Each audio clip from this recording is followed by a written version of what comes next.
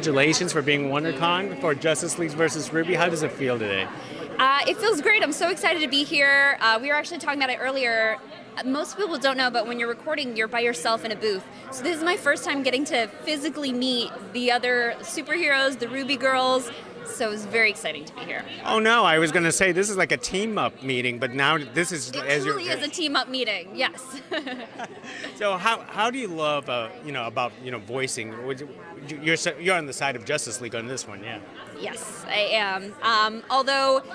Uh, oh, I don't know how many spoilers I can say because I've already seen the movie. But when they come, everybody is there's a big mystery of why they're there. They're all dispersed. So Green Lantern is kind of off doing her own thing. So I didn't get to have so. mu- I feel like I had probably more interaction with RWBY people than with DC people during this movie, which is interesting.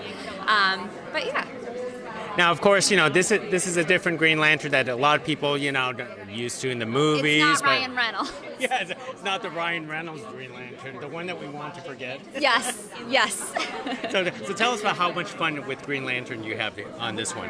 Um, it was a lot of fun. I got to. Um, normally with superheroes, you know of like the Wonder Woman type, where she's a warrior, she's super strong, and she always knows where she's going. And that's not Jessica Cruz's story. Um, she deals with panic attacks, she deals with anxiety, and so it was very interesting to play a superhero that is so human and so vulnerable. I loved getting to play that aspect. I, I thought you just described a normal person and not a superhero.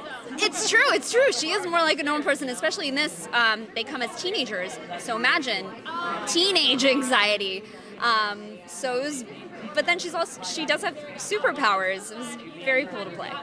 What is your what is your delight of voice acting yourself? I would love to see Oh, so many things to love about it. Um, I love getting to play another character, do different kinds of voices.